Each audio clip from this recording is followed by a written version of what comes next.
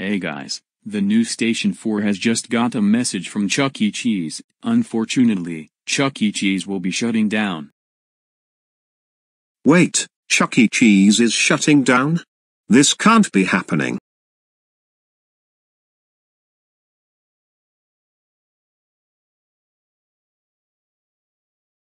That item up there looks so cool, I have to grind up for it. Hey dude, I see you are trying to grind up to the hexadrone thing over there. Wait, aren't you the guy from the news station 4? Yep, it's me. Most people don't really recognize me unless I do a live news podcast outside of the station.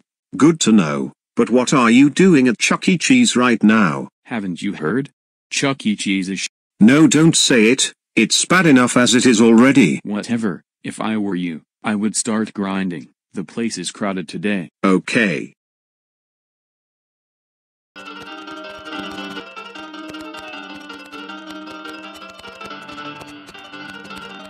Get ready to lose badly, kid.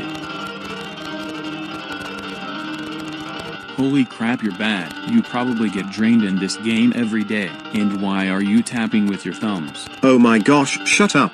Can't you see I am trying to win here?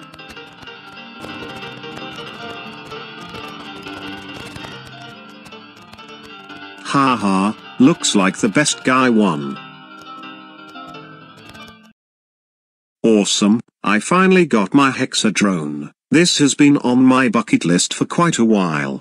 Now, now there's nothing else to do. Attention everyone. Chuck E. Cheese will be closing their doors in 10 minutes. Oh man, this has got to be the saddest moment. I'd like to announce the opening of Freddy Fazbear's Pizza next week. Hey, what is going on? We're discussing the future of Chuck E. Cheese. Lie. Oh snap, am I on TV?